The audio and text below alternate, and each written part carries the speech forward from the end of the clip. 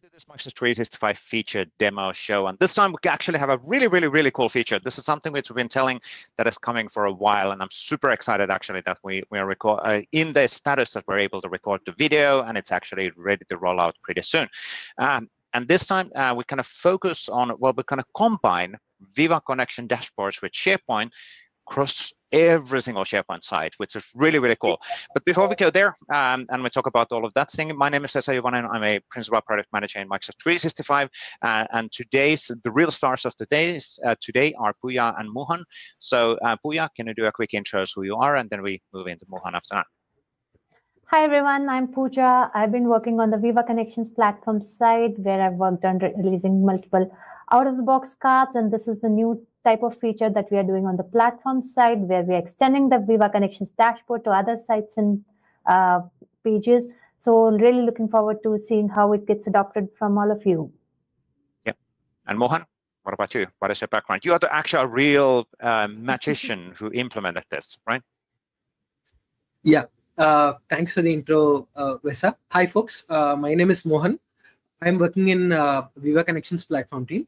I have worked in developing uh, many uh, features like uh, text import, search, data visualization. And right now I'm currently working on bringing dashboard to all the sites in SharePoint. Yeah. And now let's actually drill in a bit before to the live demo. Let's talk about a bit about the feature itself. So we're talking about getting the Viva Connection dashboard across all of the sites.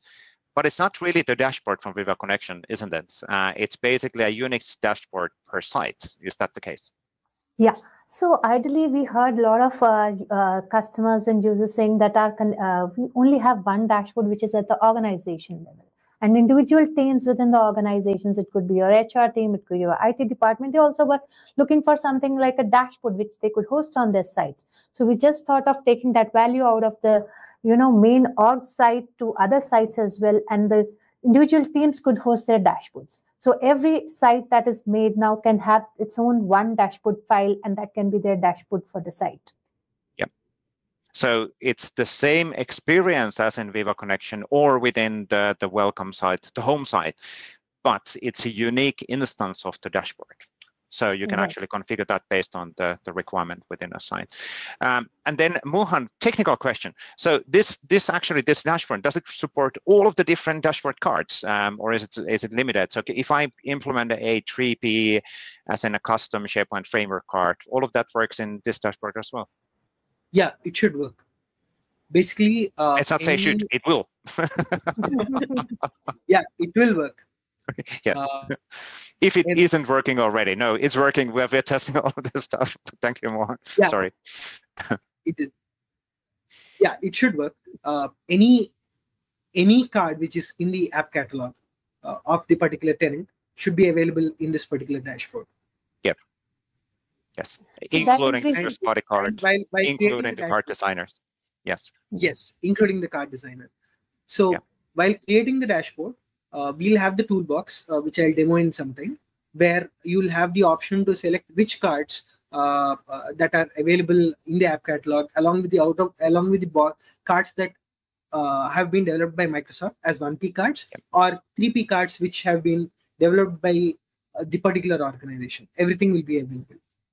Cool. So that's the whole idea. We wanted, you know, developers who are doing cards for connections, they can reuse those cards. It's just not till connections, they can bring that value out. They can use it again on their local uh, site of the team where they're, they're working in particular for that particular yep. cards use case.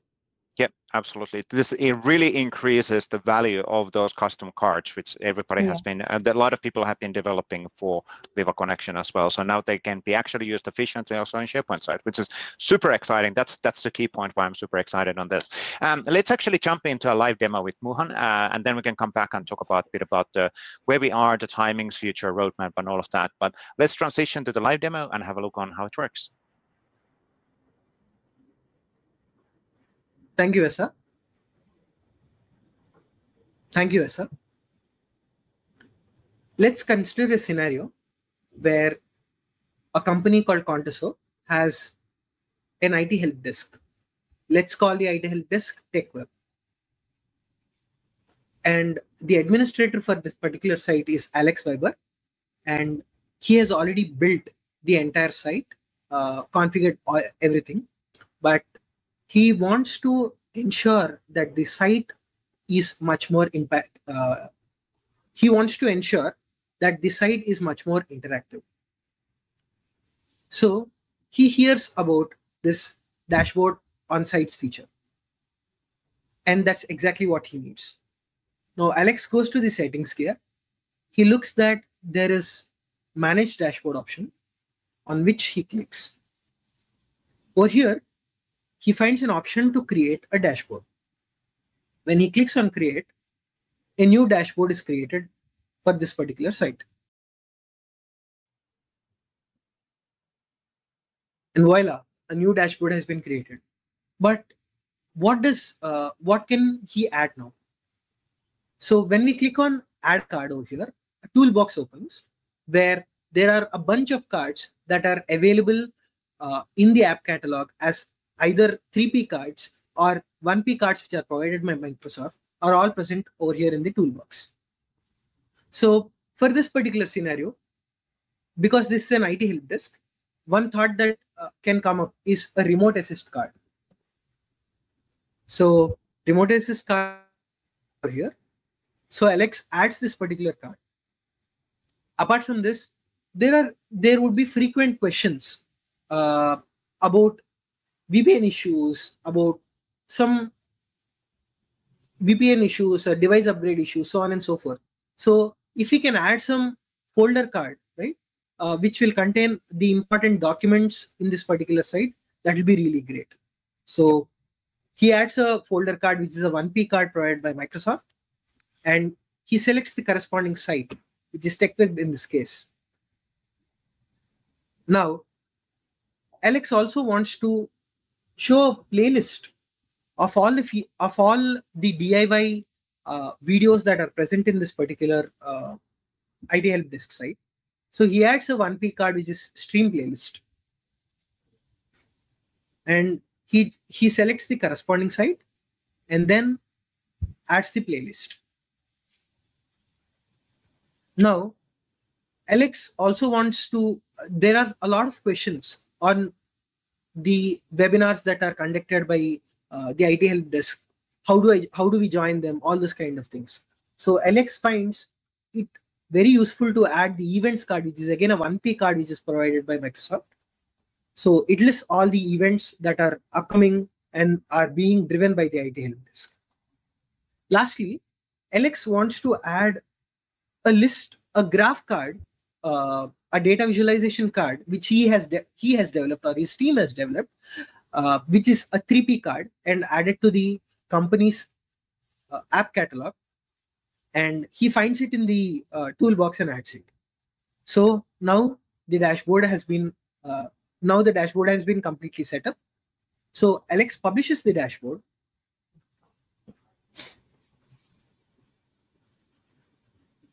Yes. Now that the dashboard has been set up. How do I provide this dashboard to everyone for using it? Alex goes to home, uh, the home page of the site. He clicks on edit button and adds the dashboard web part as a section.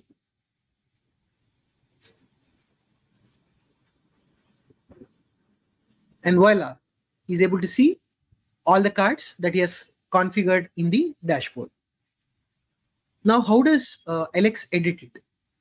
There is a control given to limit the number of cards that are being shown in this particular dashboard web part. It can be 4, 3, 2, 1, so on and so forth. If the number of cards that are being shown over here are less than the actual number of cards, a see all button is shown. Alex publishes the page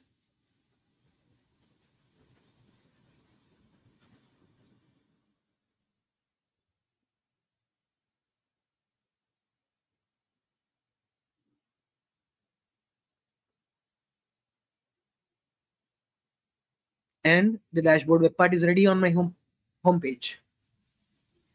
Note that this particular web part can be added on any site page with within this particular site.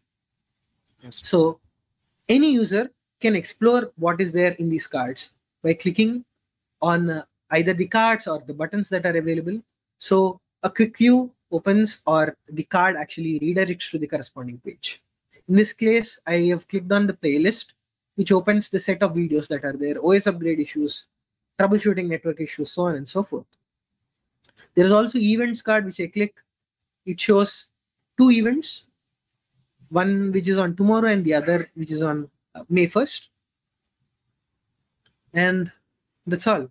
When someone clicks on the see all, they are redirected to the dashboard.aspx page. Now, you might wonder, how do I edit this dashboard in the future? It is via the same approach. Go to the settings gear, click on manage dashboard, and here you see a edit button instead of a create button. Clicking on this will take you to the dashboard.aspx where you can change the cards, reorder the cards, configure the cards, and do whatever you want.